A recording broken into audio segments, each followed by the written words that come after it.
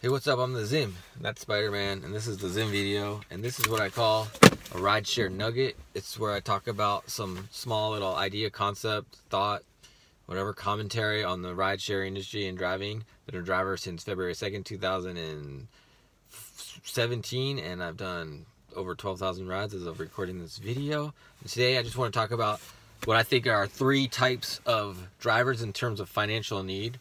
There's one type is people that use rideshare driving as their primary source of income, most likely full-time drivers. I fall under that category. I'm probably on the extreme end of really diligently doing this job to make it my source of income and I have to do it every week to make sure I'm able to survive that type of thing. There's part-time drivers that are clearly part-time. They can drive for anywhere from you know that use the i should say first financial need is use it as supplementary income for a variety of reasons um, but it's not their primary income. So they're most likely part-time drivers. And they go from anywhere from a few rides um, a week to maybe up to like 30 hours a week of driving and maybe up to like 60 70 rides a week. I don't know somewhere in that range. And then and then the third kind of section of rideshare drivers are the um, not primary income, but don't but but it is probably their primary job in the sense that they do maybe they're retired or maybe they have dual income in their household or maybe their overhead is really low that so they don't need to approach it as a full-time job in the way of like I have to be there every week.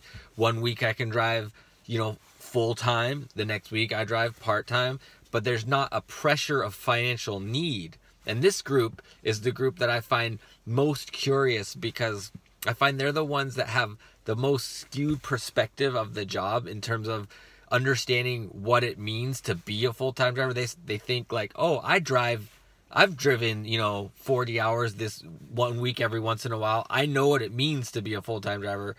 And I'm I'm on the fence. I'm on the side of the the argument of no, you don't. You don't have to do it every week. You obviously have somewhere else that you you don't need the money to come in the same every single week, so that you can be casual about it and that kind of thing. So those are my three types of drivers. It's the primary source of income, full time drivers grinding it out, doing that thing, and there's a spectrum in there.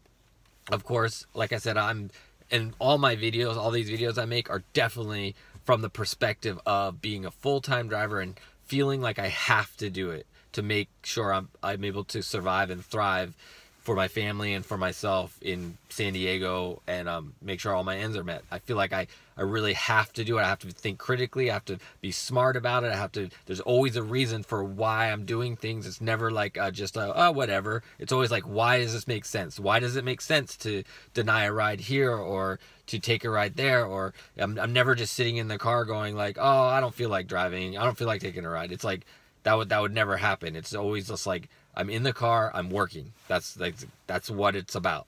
And then there's the part-time supplementary income that it just can be super casual or they can be super focused too, but it's only within a short amount of time. They don't need to make the money to make sure they're able to survive every month, every week, every whatever. And then there's that middle ground of you know, people that drive a lot but don't have don't have the pressure of having to and then, there's that group of people. So those are my three types of you know rideshare drivers based on financial need. What do you think? Where do you fall? Do you have one? Do you have something? Do you think there's another group of driver in terms of financial need that I missed? Um, I don't know. Love to hear your thoughts. Thanks a lot for watching. About 72% of you are not subscribed to my channel that watch my shows. So please consider subscribing. You can do it on the pop up on the screen or down below on the page. Subscribe. And um, be sure to check out my full show. It's called My Rideshare Experience right here on my channel here. And um, I do it once a week. It's about a 30, 20 to 30 minute show where I get into much more details, such as how much I made. I give, I take questions from you, like all the questions and comments you post on these videos. I pick a few of them and I'll talk more in depth about them on my show. And then I do some topic that has come up for me in the week of rideshare driving. Um, so check it out if you have the time. I'd love to have you do that. All right, until next time, be excellent to each other. Hope your rides are long because long rides are where the money's at. You're getting fat tips because we need those tips to make the job sustainable. And um, Peace.